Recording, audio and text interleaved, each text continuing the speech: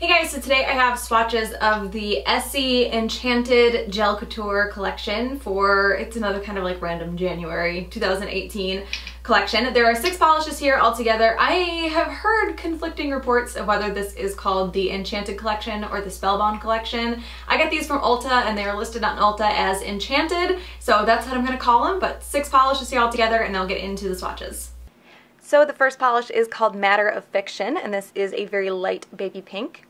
This is kind of like a semi-sheer polish. I don't think it's meant to be one of those where you can kind of see your nail line through it. It's kind of in between, like a slightly crelly-ish, very light pink. The Gel Couture polishes have this nice wide brush on them, and it makes a polish like this one that I think would normally be pretty streaky apply pretty evenly. I actually have a little experiment about Essie polishes and formulas and brushes coming up. I might even film it today, actually. Really good formula on this one. So this one is starting to build up on the second coat. I think if you have a very, very steady hand and very careful application, you might be able to get this one opaque in two. I still have some dark spots, so I'm going to go ahead and do a third coat. And those do become a little more apparent after it's fully dry. So this one does cover completely in three coats. I can see the dark spots pretty well in person, but they're not really showing up very well on camera. And this one also dries very shiny on its own. So that is three coats of Matter of Fiction. The next polish is called Princess Charming, and this is kind of a mauve nude color. This one is very opaque on that first coat. When I did my swatch pictures just a little bit ago, I stared and stared and stared at it and tried to decide whether I was going to say it was a one coater or not. For me, I don't think it's quite there. When it's fully dry, I still had a couple of dark spots, so I'm going to go ahead and do two for the video as well. But this is very, very close, and a really good formula on this one as well.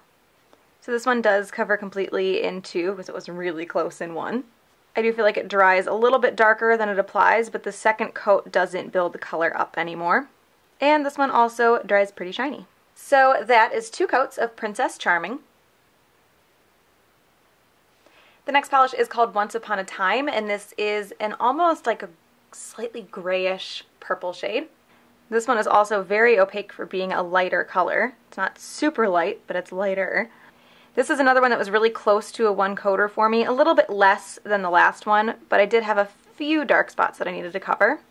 And really good formula on this one as well. This one I do feel like is a little bit on the thin side. Not too much, it just takes a little bit of extra care for me, especially after using the last polish that was a little bit thicker than this one is. As much as I love these wide brushes, they do make slightly thinner formulas a little bit more difficult to work with. For me, anyway.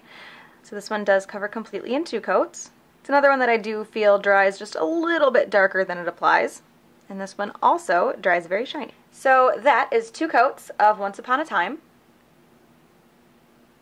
The next polish is called Spellbound, and this is, it looks like a gray with a bunch of gold shimmer. The gold shimmer almost gives it a little bit of a green hue to it as well. So this one is a little bit more sheer on the first coat because it does have that shimmer in it and that shimmer does stand out really well, just as good as it does in the bottle, which you don't see super often. And a good formula on this one as well. So this one does cover completely in two coats, and the second coat does deepen the color a little bit.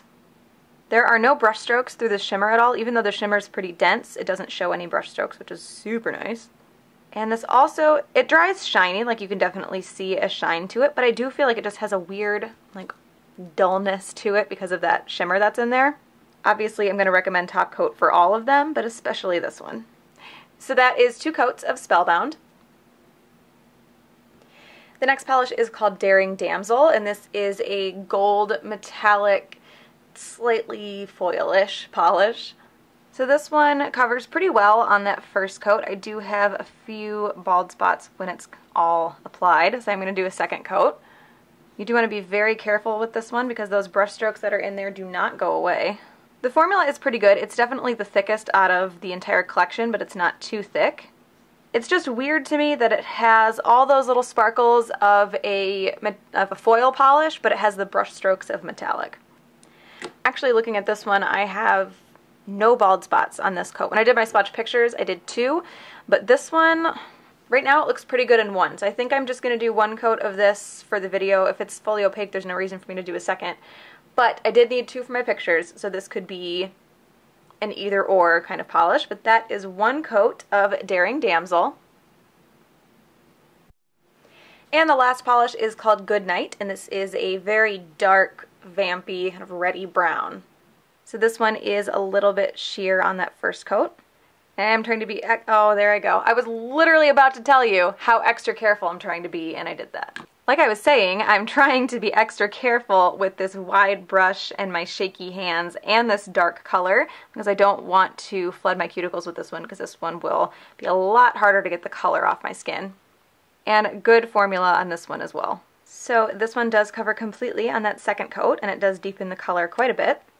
Usually these are some of my favorite colors to wear this time of year, but I mean the second Christmas got over, I wanted spring colors this year. And this one also dries very shiny. So that is two coats of Good Knight. And Spellbound is actually going to be my favorite here just because I think it's the most unique out of all of them. Pretty much all the other colors I've seen a couple hundred times before. Um, this one is a little bit more unique. It's that weird kind of like slate blue, mossy green. I can't really tell because the gold shimmer that's in there throws the color a little bit. But I do really like this one. It's unique to the collection and kind of unique for Essie anyway. So that is my favorite. So that is the Essie Gel Couture Enchanted collection for 2018. Again, I got those from the Ulta website. So I hope you guys enjoyed this one and I will talk to you later. Bye.